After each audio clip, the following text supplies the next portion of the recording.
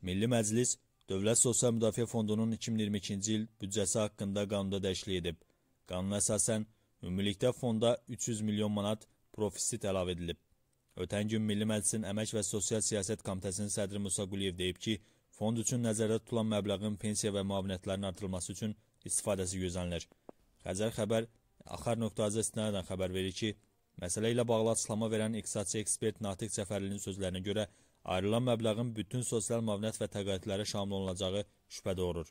Sosial Müdafiə Fonduna ayrılan 299 milyon manat vəsaitin həcmi bütün sosial müavinət və təqaüdlərin artırılması üçün kifayət qədər azdır. Amma bu məbləğ həssas təbəqə, məsələn, qazilərin sosial müdafiəsi və aztəminatlı ailələrinin müavinətlərinin artırılmasında istifadə oluna bilər. Qeyd edək ki, məbləğin 1 milyon manatı kişilikdən sığorta fondunun 2022-ci il büdcəsinin gəlir və xərclərinin artırılması üçün 4 milyonu yanvar ayında doğuşa görə 200-dən 300 manata qaldırılan müavinətə, dost xidmətlərinin fəaliyyətinin maliyyələşdirilməsinə və pensiya və digər müavinətlərin gücləndirilməsi nə sərf olunacaq?